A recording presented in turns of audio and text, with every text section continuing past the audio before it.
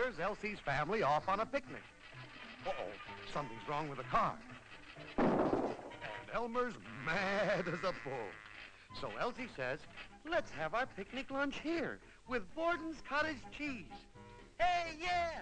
Borden's cottage cheese! Hey, yeah! Borden Cottage cheese! Great new idea, kids.